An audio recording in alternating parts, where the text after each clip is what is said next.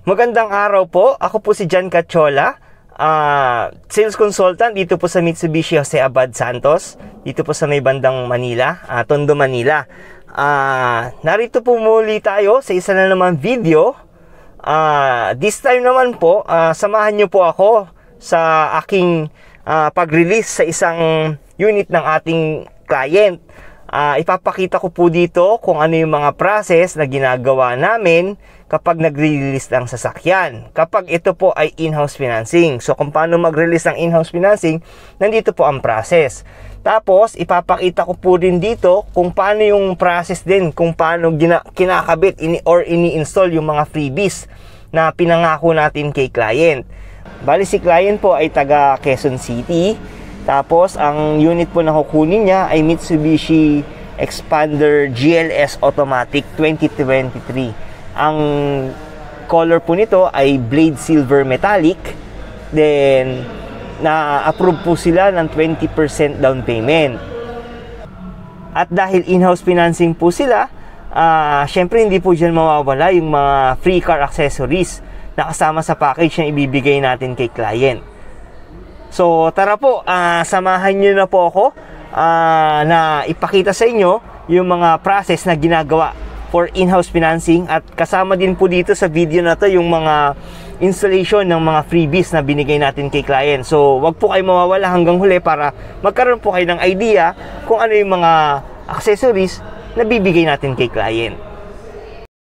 Bali, ito po yung process na nasa cashier na si client. No? Sinamahan po natin siya upang magbayad ng kanilang down payment. By this time, nakuha na po natin sa kanya yung mga requirements na need natin ipapotocopy at ipasa ito sa mga bangko.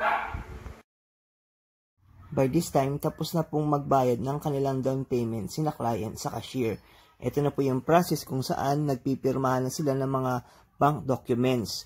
Nandiyan po yung pumipirma sila ng shuttle mortgage, nagfi-fill up ng application form at kung ano pang mga dokumento na kailangan para sa ating car loan.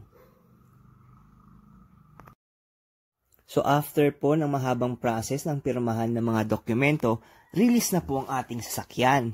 Paalis na po kami sa part na to. Sasamahan ko po sila client dun sa aking supplier kung saan ikakabit ang mga free car accessories na pinangako ko kay client. So ito po, nakarating na tayo guys sa shop kung saan ikakabit ang ating mga freebies na ibibigay natin kay client. Bale, yan po ang ilan sa mga freebies na ikakabit sa ating expander na nirelease na ibibigay natin kay client. Yan po yung mga muffler tip, yan po yung hood emblem, dashcam, at yung box po na malaki na nakapinagpatungan, ay yan po ang rain visor. So yan po, una sa mga kinakabit ay yung HD dashcam na nilalagay sa harapan ng ating cabin. So makikita nyo naman po na wala pong warranty na masisira dito dahil may sarili pong wire yung dashcam na ikakabit natin kay client. Bali, install lang po ito at isasaksak ang, ang plug nito dun sa 12 volt socket na nakalagay din sa harapan ng ating cabin.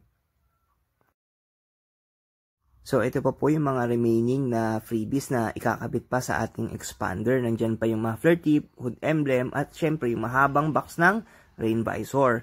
Wala pa po dyan yung deep dish matting dahil may free deep dish matting po tayo na ibibigay pa kay client na makikita po natin mamaya. So ito po ang muffler tip. Ilalagay na po yan sa ilalim ng ating sasakyan sa may bandang tambucho. Ito naman yung expander na hood emblem. So color black po ito dahil pinili ni client na black ang ilagay instead na chrome color. So ayan no, sinisimulan na po nila na ikabit naman ang rain visor. So medyo ano po siya, mabusisi ang pagkakabit. Kailangan pantay po kasi ito sa ating mga salamin. Ang front at second row na rain visor, ang color po nito ay color black. So medyo dark po ito, nababagay din naman sa ating tint na color black. So ayan na, tapos na ang ating rain visor sa may bandang passenger side.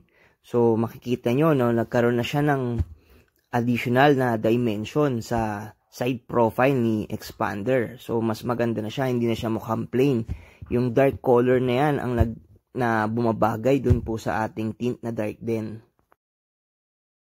So ito po, sinisimulan naman din po na ilapat na ang hood emblem no sa ating hood ng sasakyan.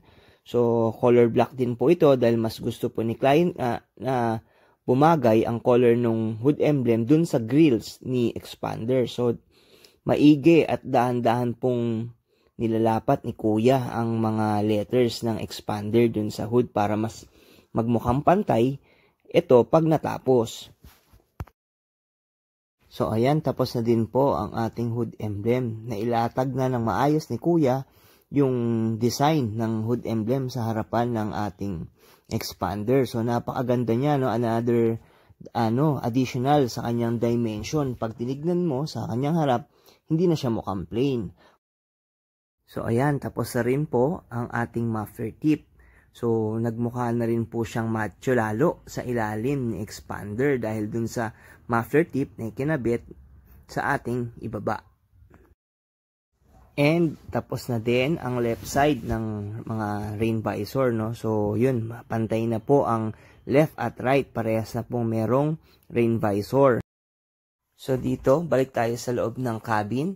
Tingnan natin at installed na po ang ating HD dashcam. So, I can say na it's working dahil meron na pong uh, lumalabas na output dun sa ating monitor ng dash. So, ito po, uh, nilabas na ang deep dish matting. Since nakuha po natin si client sa ating YouTube channel, uh, may additional freebies po tayo sa kanya. Yan po ay ang 3 rows na deep dish matting na ikakabit para sa flooring ng ating expander.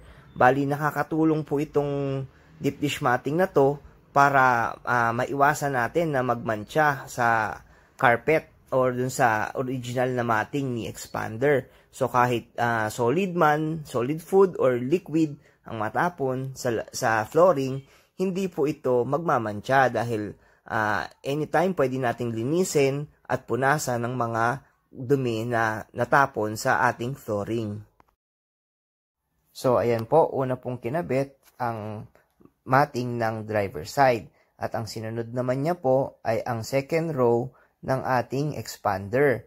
So, meron po tayong 3 rows seats sa ating expander. Kaya 3 rows din ang makukuha nating deep dish matting. So, lahat po yan libre. Wala na pong babayaran si client dahil sa atin po siya kumuha ng in-house financing. After second row, sinunod naman ni Kuya ang passenger side sa harap. So, ayan, saglit lang nilapat ni Kuya. Ayan, tapos na po ang ating 3 rows deep dish matting. All 3 rows are installed na. So, makikita natin na talagang maganda naman ang quality ng ating deep dish matting na binigay kay client. So, I'm sure na mapapakinabangan nila ito ng mahabang panahon. Meron din tayong leather seat cover na ibibigay kay client pero request kasi ni client na gusto mo nilang ma-feel ang bagong upuan ng kanilang expander, hindi muna natin to i-install. Hahayaan muna na lang natin na si client ang magpa-install nito after ng mga ilang days.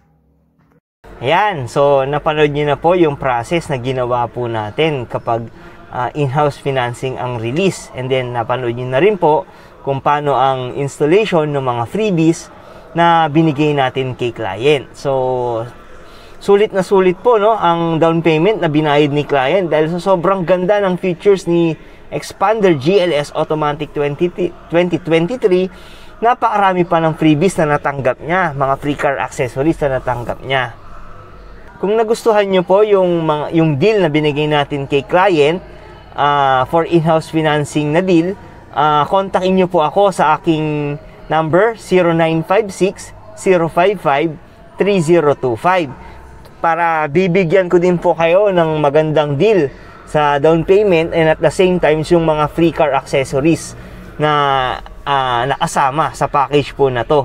At para po sa mga umabot hanggang dito po sa huli na huling part ng ating video, uh, gusto ko po magpasalamat sa inyo dahil nakaabot po kayo hanggang sa matapos natin yung process ng from uh, releasing up to installation ng mga freebies. Ah, if nagustuhan nyo po, paki-like naman po ang ating video. Then paki-subscribe na rin po sa ating channel para mas updated po kayo sa mga next pang content na ganito na gagawin natin kay client sa mga clients po natin na paparating. So, yun po, ah makakaasa po kayo na hindi ko po kayo bibiguin. If may mga kakilala din po pala kayo na gustong kumuha ng sasakyan, ah i-refer nyo po sa akin at magkakaroon po kayo ng 5,000 pesos as long as ah, in-house financing po ang transaction. So once na ma-release natin yung sasakyan ng ni-refer nyo, ah, matatanggap nyo yung 5,000 through GCash or bank ah, transfer. Or kung wala naman po, pwede po tayong magkita dito sa dealer at ibibigay ko po sa inyo ng personal yung reward na pinangako ko sa inyo. So, yun po, ibigay nyo lang po sa akin yung contact ah, person na gustong kumuha ng sasakyan. Ah, i- ibigay or pwede nyo pong ibigay yung aking number na 0956-055-3025. Basta po sabihin nyo na nirefer nyo po. Ah, ako na pong bahala sa kanilang tumulong. Ah, ipaprocess natin ang kanilang papers ah, hanggang sa ma-approve po sila at i-release natin itong sasakyan na pangarap din po nila. So hanggang sa muli, ah, paki-subscribe and paki-like na po itong video. At the same time, ah, paki-ring ah, pindot na rin po yung bell para updated po sila sa mga susunod pang video. Muli, maraming maraming salamat po at magkita po tayo, magkita-kita po muli tayo sa susunod kong video. Salamat po.